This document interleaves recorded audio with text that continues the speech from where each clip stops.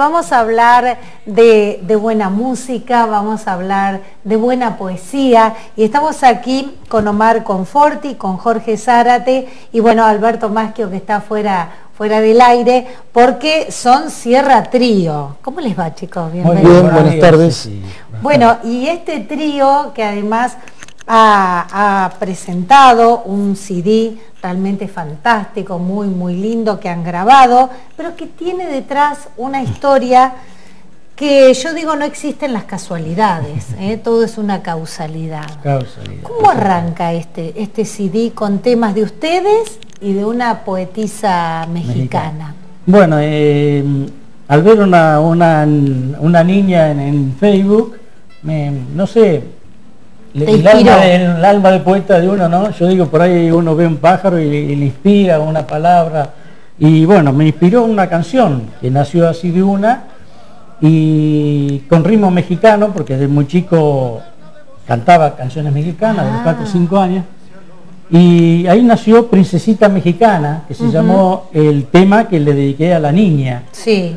Bueno, me animé a enviarle el tema a la poesía primeramente, porque aún no había grabado la, música, y bueno, la señora la aceptó con, mucho amor. la mamá. La mamá, que era, la mamá de la niña era Marta Covarrubias Gómez, la poetisa más famosa actual de México, que yo ni idea tenía de quién era la mamá.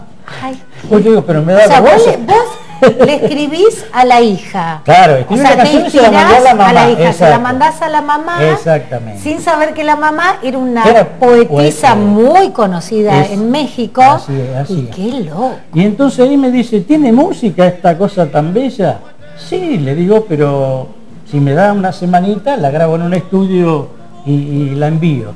Bueno, envié la música, quedó más encantada aún es más, hizo dos o tres videos, lo envió a, vagar ahí por internet, por el mundo.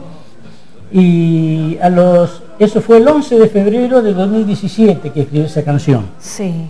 Dos días después escribió otra canción que se llamó Sin Muros, que eso dio pie para que la señora eh, tenía un funcionario amigo en, el gobierno ahí de México, eh, entonces eh, me manda a decir después, yo le voy a ir mandando poemas que nunca los pudieron musicalizar, por ahí usted lo puede ir acomodando y para, para hacer un disco que me han pedido este, que lo titulemos precisamente Sin Muro, ¿no?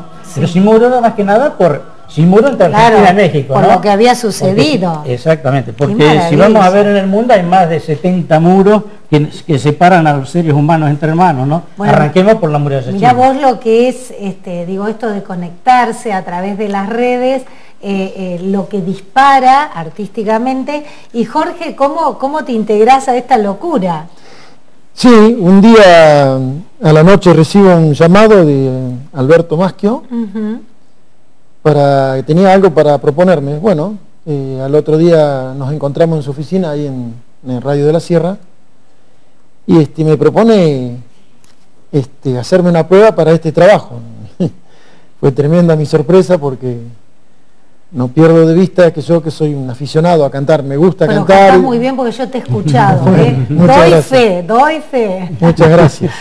Este, así que eh, combinamos el día de la prueba, hacer la prueba, aparentemente gustó, pese a mis nervios, a, lo que yo les digo siempre a ellos. Yo, yo soy un aficionado que me gusta cantar y comparando mi poco tiempo que llevo frecuentando escenarios, a la par de ello. No, vos tenés una actividad que nada que ver. No, sí, lo mío. Más a lo melódico. Sí. ¿Eh? No, no, no, a, mi, medio de vida es, el camión, sí. claro, tengo un camión. trabaja en el camión. Y bueno, el día, recuerdo el día que, que, cantó en un evento, que yo lo escuché, le dije, pero vos te dedicas, no, me, te tenés que dedicar. no, no, muy hermoso, bien, hermoso. Veremos si algún día llega esa oportunidad, pero por ahora mi medio de vida es el camión. Sí. Y bueno, hoy me empezamos los ensayos yo con unos nervios bárbaros de, miedo a, más que nada hacerles perder tiempo a ellos. Yo lo poquito que tuviera o mucho al lado de ellos, para mí era todo aprender. Claro. Y bueno, así llegamos a grabar a grabar este. En un principio me habían visto para un par de temas, después por la inflación fueron cuatro. Claro, y terminó todo. Terminó con cuatro.